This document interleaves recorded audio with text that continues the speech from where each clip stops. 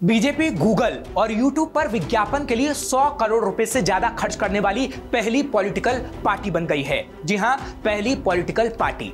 यानी बीजेपी ने गूगल और यूट्यूब पर विज्ञापन के लिए इतना खर्च कर दिया जितना आज तक किसी पार्टी ने नहीं किया। नमस्कार, मैं हूँ आपके साथ हर्ष भारद्वाज। आप देख रहे हैं श्रेष्ठ भारत। बीजेपी ने गूगल और यूट्यूब पर विज्ञापन के लिए 100 करोड़ रुपए खर्च कर दिए हैं और इसलिए बीजेपी, गूगल और यूट्यूब पर सबसे ज़्यादा खर्च करने वाली पहली पॉलिटिकल पार्टी बन गई है। गूगल की विज्ञापन ट्रांसपेरेंसी रिपोर्ट के मुताबिक 31 मई 2018 से 25 अप्रैल 2024 तक बीजेपी ने 102 करोड़ रुपए विज्ञापन के लिए खर्च कर दिए। वहीं पिछले पाँच सालों में पब्लिश गूगल विज्ञापन में बीजेपी का हिस्सा करीब 26 फ़ीसद है। यानी गूगल और यूट्यूब पर करोड़ों खर्च बीजेपी ने किया है। कुल दो लाख सत्रह हज़ार ऑनलाइन एड दिए गए। इनमें से कुल एक लाख इकसठ हज़ार एड राजनीतिक विज्ञापन थे।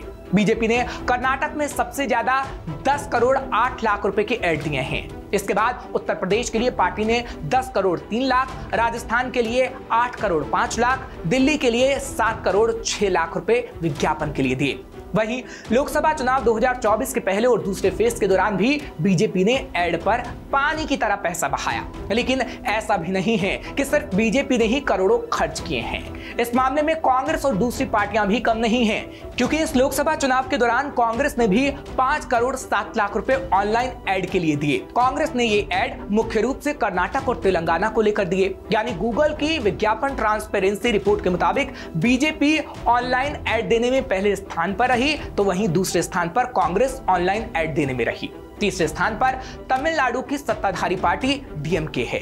इसने 2018 से अब तक ऑनलाइन एड पर 42 करोड़ रुपए खर्च कर दिए हैं।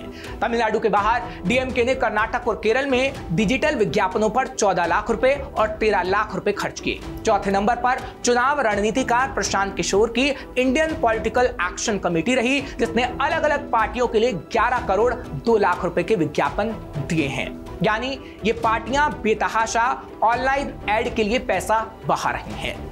दरअसल लोकसभा चुनाव 2024 के लिए राजनीतिक पार्टियाँ अपना पूरा दमखम लगाए हैं। सात चरणों में होने वाले चुनाव के दूसरे चरण के लिए वोटिंग पूरी हो चुकी है और बाकी चरणों के लिए वोटिंग होनी है। चुनाव में सभी दल ज़ोर शोर से प्रचार अभियान में जुटे हुए हैं। वहीं चुनाव में पार्टियाँ डिजिटल प्रचार अभियान पर ज़्यादा ज़ोर दे रही हैं।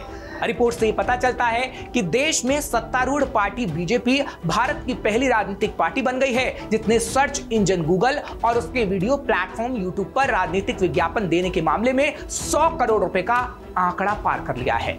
अगर साल दर साल की बात करें और सभी विज्ञापनों की बात करें तो मोदी सरकार ने वित्त वर्ष 2014-15 में 424 करोड़ चौरासी लाख रुपए 2015-16 में 508 करोड़ 22 लाख रुपए 2016-17 में 468 करोड़ तिरपन लाख रुपए 2017-18 में 636 करोड़ 9 लाख रुपए 2018-19 में चार सौ उनतीस करोड़ 55 लाख रुपए 2019-20 में दो करोड़ 5 लाख रुपए और 2020-21 में एक सौ सत्तानवे करोड़ उनचास लाख रुपए। इसी तरीके से 2021-22 में एक सौ उनासी करोड़ 4 लाख रुपए 2022-23 में इक्यानवे करोड़ छियानवे लाख रुपए विज्ञापन के लिए खर्च करती है। यानी बीजेपी विज्ञापनों पर बेतहाशा पैसा बहा रही है। दरअसल, चुनाव जीतने के लिए राजनीतिक पार्टियाँ और उम्मीदवार पानी की तरफ़ पैसा बहाते हैं। यही वजह है कि अब भारत में होने वाले लोकसभा चुनाव दुनिया के सबसे महँगे चुनाव होते जा रहे हैं। बीते कुछ आम चुनावों में जितना खर्च हुआ है, वो कई देशों की जीडीपी के बराबर है।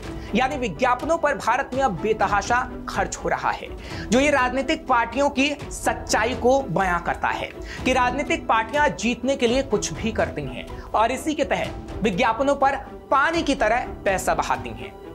और यही सच है, जो सच श्रेष्ठ भारत आपको बता रहा है। फ़िलहाल, ऐसी और खबरों के लिए आप देखते रहिए श्रेष्ठ भारत। श्रेष्ठ भारत पर खबरों से जुड़े रहने के लिए चैनल को सब्सक्राइब करें, बेल आइकन दबाएँ और देखते रहें श्रेष्ठ भारत।